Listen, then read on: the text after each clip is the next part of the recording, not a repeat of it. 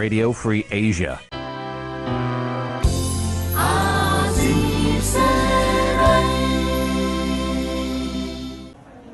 កម្មកររោងចក្រ Crystal Martin ប្រហែលជា150នាក់ស្ថិតនៅក្នុងស្រុកសាច់កណ្ដាលខេត្តកណ្ដាលបានដួលសន្លប់នៅថ្ងៃទី27ខែកុម្ភៈឆ្នាំ2014ក្រុមកម្មករត្រូវគេបញ្ជូនទៅមន្ទីរពេទ្យភ្លាមភ្លាមនៅពេលដែលដួលសន្លប់នោះ កម្មការនីដែលត្រូវគេបញ្ជូនទៅព្យាបាលនៅមន្ទីរពេទ្យបង្អែកស្រុកសាច់កណ្ដាលបានថ្លែងថានៅពេលដែលក្រុមកម្មករចូលធ្វើការដោយធម្មតានោះនៅក្នុងរោងចក្រមានចំហាយក្លិនឆួលហើយកម្មករខ្លះមានអាការៈក្អួតចង្អោរថប់ខ្យល់ពិបាកដកដង្ហើមហើយខ្លះទៀតបានដួលសន្លប់ភ្លាមភ្លាមតែម្ដងគាត់ខ្ញុំចូលទៅគ្រាន់តែហត់ដល់ហ្នឹង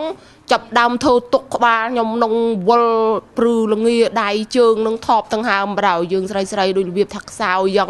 គ្រាន់តែហត់អានឹងចូលមកដូចអានឹងខឹកឡើងលើស្ទះខ្លះបាត់មាត់បាត់កនៅក្នុងនោះគេបញ្ជូនមកពេទ្យរោងចក្រនោះបាត់មកបាត់កទៅគេដឹកមកពី3ឡានពីព្រឹកនៅខ្ញុំក្រោយគេ មានតន់ហូបបាយណាចូលអានុងទៅក្អួតវេវកវេវករដ្ឋបាលថាបែតនងធំក្លិនមែនហើយបានសម្រុកចេញគេបោកឲ្យចេញវូមកនាំគ្នាមកងោកងោកទៅរដ្ឋបាលឈ្មោះបងរចនាហ្នឹងគាត់ហៅថាមីអូនបានណាមស្រួលខ្លាំងទៅចូលកន្លែងពេទ្យសុំថ្នាំពេទ្យហូបកូននាំគ្នាមកដេកឲ្យតម្រៀបអញ្ចឹងតែអាណាបាត់មាត់បាត់កោបាត់ទៅអ្នកបាត់ទេនៅជួយច្បាច់ច្បល់គ្នាកោសគ្នានោះទៅស្អាតចូលក្នុងរោងចក្រហ្នឹងទៅធំធំស្អីទេ ធំហើយធំស្រាប់ចាប់ឈឺក្បាលវិលមុខទៅពើតលេងដឹងស្រាប់តែនៅពើតនោះលេងដឹងអីឈួលខ្លាំងចាឈួលធំអត់បានណាឈួលរបៀបដូចធំមួយស្អុយបន្តិចឆ្ងៀមបន្តិចមិនហើយដល់សួរគេទៅគេថា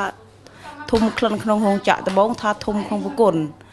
អូដល់ចូលទៅក្នុងប្រគុណអត់មានធំទេដល់ចូលមកក្នុងរោងចក្រវិញធំក្នុងរោងចក្រហ្នឹង ភក្តីតំណាងរោងចក្រ Crystal Martin បានថ្លែងថាក្លិនដែលបណ្ដាលឲ្យកម្មករមួយចំនួនដួលសន្លប់នោះគឺជាក្លិនចំហាយទឹកអាស៊ីតអាគុយ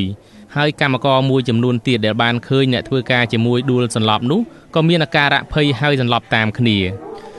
ក្រុមកម្មករដែលដួលសន្លប់ត្រូវគេបញ្ជូនទៅព្យាបាលនៅមន្ទីរពេទ្យស្រុកសាច់កណ្ដាលខេត្តកណ្ដាលមន្ទីរពេទ្យបង្អែកស្រុកមុខកំពូលនិងខ្លះទៀតដែលមានអាការៈធ្ងន់ធ្ងរត្រូវបញ្ជូនមកមន្ទីរពេទ្យកាឡាម៉ែត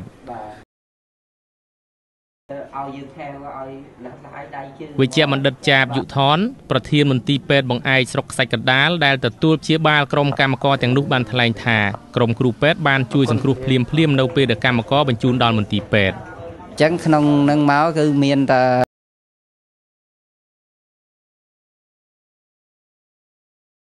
ប្រាក់ទុនដៃទុនជើងខ្យល់ចាប់ដូចគ្នាបន្តគ្នាមានអ្នកខ្លះទៅធុំក្លិនមានអ្នកខ្លះហ្នឹង ភ័យតាមគ្នាទៅវាសន្លប់ប៉ុន្តែអ្នកដែលធុំក្លិនដែលអីហ្នឹងគឺរៀងរៀងធ្ងន់ជាងគេបាទមានអាការៈប្រវាសដកដង្ហើមខ្លាំងបាទអ្នកដែលភ័យហ្នឹងគ្រាន់តែគ្នាអស់កម្លាំងទុនដៃទុនជើងខប់ដង្ហើមអីតិចតួចមកយើងដាក់សរោមដាក់អីហើយប្រាប់ណែនាំគាត់ពីបញ្ហាសុខភាពគាត់ឲ្យគាត់ដកដង្ហើមឲ្យបានវែងវែងអញ្ចឹងគាត់មានអាការៈធូរវិញហើយអ្នកដែលថប់ដង្ហើមខ្លាំងហ្នឹងតើយើងដាក់អុកស៊ីហ្សែនឲ្យគាត់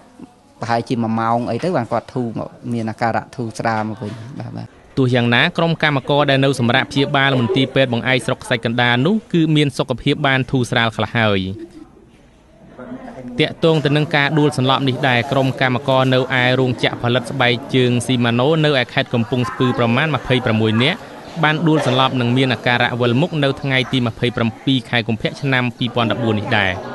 ការដួលសន្លប់របស់ក្រុមកម្មករទាំងនោះគឺបណ្ដាលមកពីធំក្លិនអាក្រក់ចេញពីរោងចក្រ ខ្ញុំមុំសុផុនវិទ្យុអាស៊ីសេរីក្រុងភ្នំពេញ